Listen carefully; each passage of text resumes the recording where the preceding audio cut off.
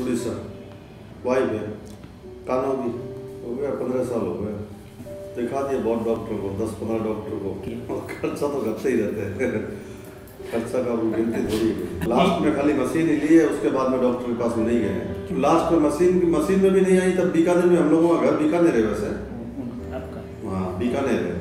उड़ीसा में रहते हैं। अभी बीकानेर गए हुए थे, इसलिए हम बोले, चलो रातों रात प्रोग्राम बनाया बस में चढ़े, निकल गए। थोड़ा बहुत तो मालूम होता, विश्वास है, मैंने ज़रूर ठीक हो जाएगा। विश्वास है। हम भी राजू, हम भी अभी दस दिन से हमारे लड़के लोग भी देखते हैं, मैं भी देखा। लड़के लोग बोले, नहीं, ये सब बेकार है, बहुत दिखाते हैं यूट्यूब में, दुनिया भर के इधर उधर दिखाते हैं, कुछ नहीं होता है। लड़के लोग तो मना कर थे, मेरा बात सुनिए। हमारा टिकट बना हुआ था, कल का वापस जाने का, बीकानेर से, कोई शादी में आए हुए थे। तब वो टिकट को कैंसिल कराया। पैसा गया बेकार। हाथों हाथ कराने से पैसा चला गया। फिर रातों रात टिकट नहीं मिली। हम बोले जो आपका सिकंदराबाद आती है ना बीकानेर से सिकंदराबाद तीन बजे छोड़ती है। उसमें टिकट नहीं हो बोला अहमदाबाद नहीं जाएगी घूम के जाएगी क्या रास्ते का काम हो रहा है? फिर हाथों हाथ टिकट छः बजे का टिकट लिया बस में। बस में बैठे सवा सात बजे यहाँ पर आए सवेरे। तो मतलब यूट्यूब में देखा था आपका। और आपका ठिकाना हम लिख के लाए थे।